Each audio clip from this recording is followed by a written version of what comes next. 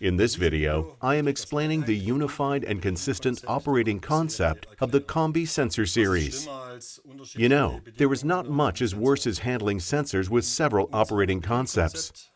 Baumer offers you a unified and consistent approach, which will save you time, money, and expensive errors. Our unified operating concept comprises conductivity, temperature, pressure, and flow sensors. Let me show you how it works on this exhibition model.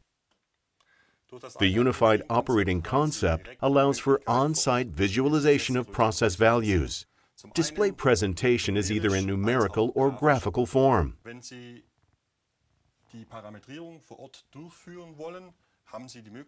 touchscreen enables easy on-site parameterization. The first press activates the touchscreen. Another press will bring you straight to the menu. Here, you can easily define the display reading. For example, graphic or targeted process units during operation.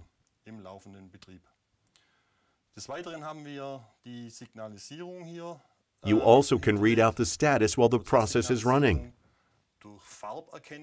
Green means standard, while red warns about the standard being exceeded.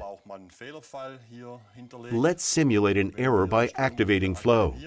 As you can see, the defined process value is being exceeded, and the display color changes to red. This way, you can immediately identify any system or installation error.